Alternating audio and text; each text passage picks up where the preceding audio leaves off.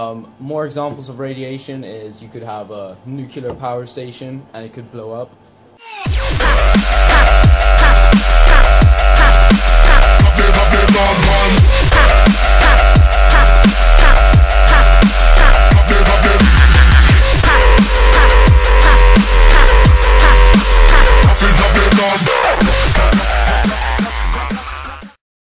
Hello and welcome to Kaku's documentary on radiation. Today I'm going to be explaining what alpha, beta and gamma radiation is. So, before uh, uh, before I do, here, Alex, this Alex is going to be alpha. Alpha is a helium nucleus. It contains two protons and two neutrons. But unlike a helium, no electrons. So in fact, a helium nucleus. Alpha is strongly ionising and slow and can be stopped by paper. Alex is now going to demonstrate this.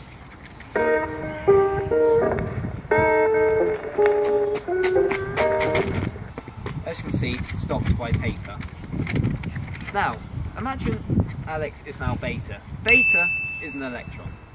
Beta is quite fast and quite ionising and can be stopped by foil. Now, this is where you're going to have to imagine that this is a piece of foil.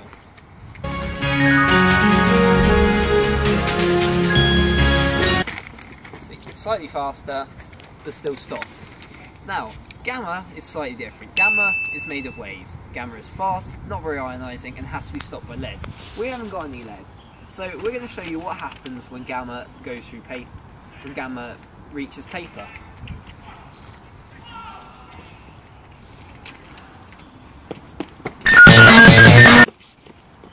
As you can see, straight through the paper. Thank you very much. We'll now move on to the next section of Cactus.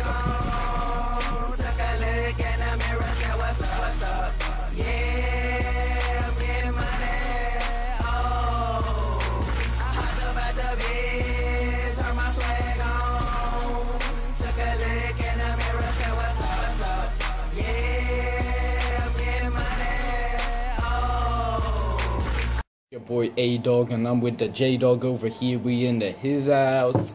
Anyway, we gonna be speaking to you about the background radiation.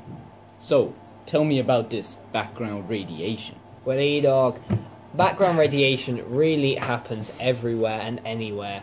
Um, you get it from all sorts of things: mobile phones, X-rays, uh, human rays, bananas, carrots, sun, moon, high, rocks, water, everything. There's radiation in pretty much everything. But the thing is, it's how much radiation you take in that matters. Because you can take in some radiation and not be harmed, but if you take in a lot over a regular period of time, it will start to cause you damage. Yep. So, dog, how do people keep safe whilst they are dealing with these radioactive materials? Well, you see, you got the radioactive sources, and it depends how much exposure you have. You see, if you have keep exposure to a minimum, the radiation that you receive and how much you're affected is not going to be very high, and you actually won't be very much affected at all. so? And so if you make else do they do? skin contact with the radioactive source, then it's going to definitely affect you. So you want to avoid that at all times. You want to be wearing like hazmat suits, and then you have What are these suits made out of? Is it? uh, I heard it's some sort of lead. It's lead, isn't it? it's yeah, it's a lead suit because you see, alpha and beta they can travel through paper and foil, but then you see gamma is a really fast one, and it can only be stopped by lead. Okay, so uh, moving on. What else safety precautions do people do to keep safe from radiation? Because you need. It said that you weren't meant to look at it as well. You know, keep eye contact down to a minimum, and you should always store it in safe lead containers. You keep it at arm's length. Yes. Okay. Cool. Thank you very much, uh, Alex Bonretsu. It's been your boy A Dog and the J Dog in the house. We'll Peace. see you next time. Spooky, scary skeletons and shivers down your spine. Yo, what's up? It's your boy A Dog, and I'm with the J Dog up in his house. Let's talk about some Half Life, boy. What's Half Life? Half life is when the counts per second is reduced by half. But different uh, different sources have different amounts of half life. Yeah, like uranium has more half life than a banana. Woo! Now let's move on. Alpha decay. What is it, Alex? It's when a substance is decayed by alpha uh, radiation. This has happens because it's got a helium nucleus. So, say if we got uranium and it's alpha decay, it becomes thorium. Yeah, What about beta decay? What happens? it's when a par- the uh, particle it has an electron, doesn't it? yeah. So it, it's uh, decayed by an electron. You take away. Six and a half hours later. This has been your way, dog. With the J dog. Yeah, boy.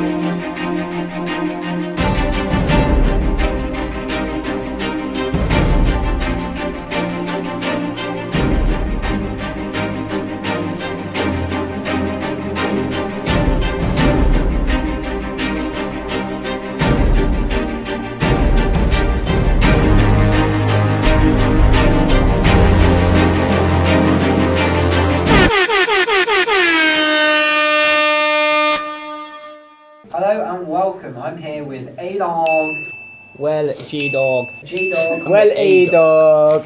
J dog, Well, A dog. J dog, the man A dog, A dog. J dog, A dog, J dog, Well, A dog. A dog. I'm here, J dog with A dog. J dog. J dog, yeah. J dog. I need to stop just doing that accent.